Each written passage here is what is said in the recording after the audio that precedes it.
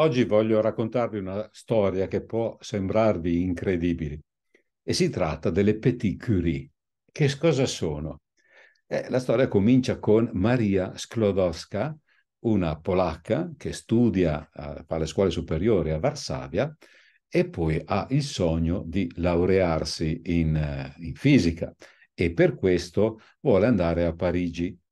È povera però e ha una sorella e si mette d'accordo con la sorella che la sorella va prima e lei intanto lavora per aiutare la sorella e poi quando la sorella finirà di studiare aiuterà lei a studiare se stessa e così fanno.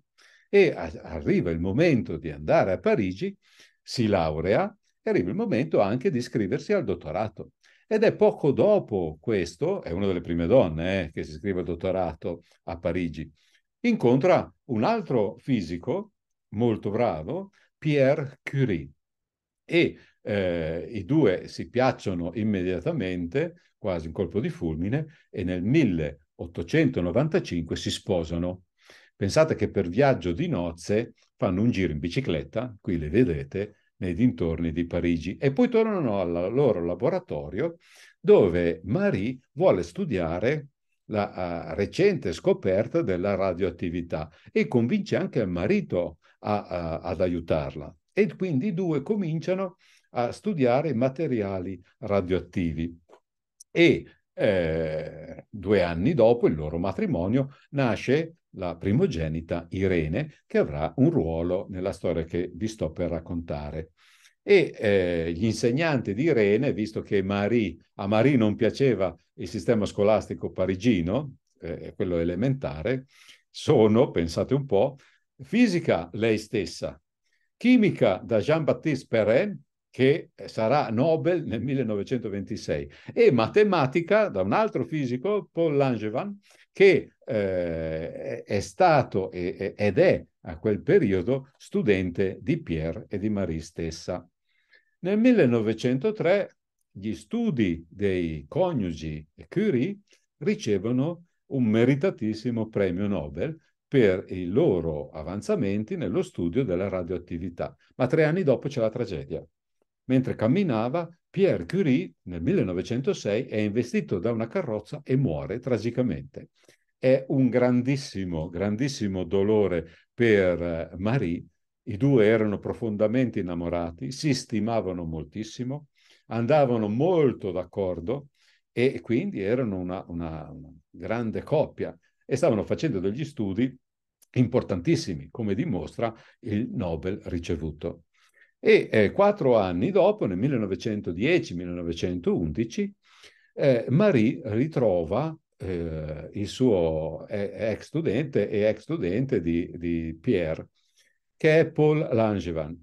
Tra l'altro era stato docente di sua figlia, eh, professore di sua figlia, professore privato. E nel 1911 ad un congresso Solvay a cui Marie eh, era sempre stata invitata come personaggio importante, i due si innamorano.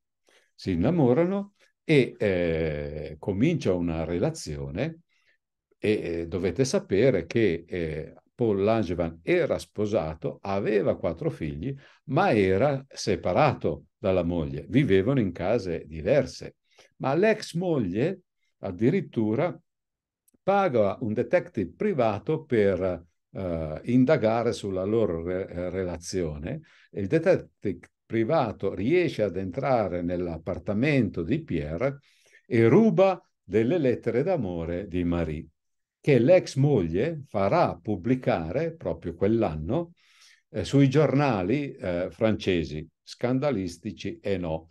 E i giornali titolano a, a grandi eh, lettere La polacca rovina famiglie e così via. E eh, proprio in quell'anno però Marie Curie vince il suo secondo Nobel per la chimica.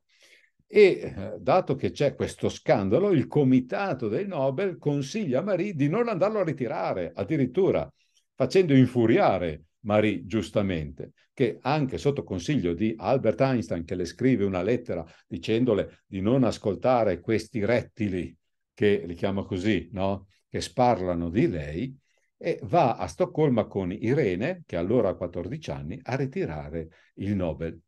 E eh, dopo tre anni però scoppia la guerra, la prima guerra mondiale. E nonostante tutto quello che ha ricevuto dalla Francia, insulti e, eh, brutte parole, Marie vuole aiutare il suo, paese, il suo paese d'adozione e ha un'idea. Dice, ma perché eh, i feriti al fronte hanno bisogno di andare in ospedale per farsi curare? Eh, non possiamo andare noi da loro? E quindi ha l'idea di attrezzare delle macchine, delle automobili, con i tubi di Crux che servono per fare raggi X, per fare le radiografie. Ha un problema subito però perché deve produrre elettricità e quindi attrezza queste macchine, queste automobili con una dinamo e lei stessa impara a guidare, che non aveva la patente, e eh, per poter guidare queste che vengono chiamate petit curie in suo, in suo onore. E eh, impara anche a cambiare le ruote e a pulire il carburatore. Non solo, ma eh, convince o obbliga, non si sa bene, sua figlia Irene, che ormai una, lavora con lei, di eh, andare al fronte, qui vediamo uno schema di, di questa macchina, andare al fronte e eh, istruire i soldati su come si fanno le radiografie, cosa che Irene fa e entrambe quindi fanno eh, da, da questo servizio per due anni. Pensate che alla fine della guerra saranno oltre un milione i soldati che a, avranno avuto questo aiuto eh, di avere una radiografia al fronte dalle petit curie che eh, da, da, due dozzine che erano all'inizio sono diventate più di 200.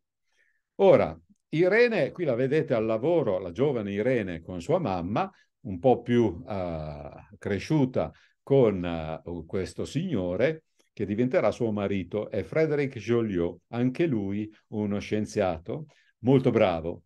E eh, si sposano nel 1926 e decidono di eh, prendere il cognome comune, quindi eh, Irene Curie si chiamerà Irene eh, Joliot Curie e Frédéric si chiamerà Frédéric Joliot Curie.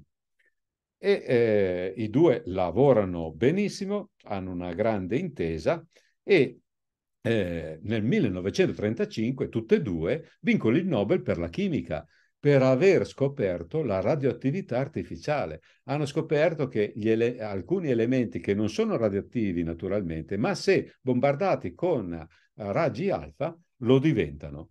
Una scoperta eccezionale che fa della famiglia Curie la più titolata mai esistita. Abbiamo cinque premi Nobel vinti da uh, Pierre e Marie per la fisica nel 1903, da Marie Curie nella chimica nel 1911 e da uh, figlia e genero Irene e Frédéric Joliot Curie nel 1935. Con questo è tutto, vi saluto e arrivederci alla prossima.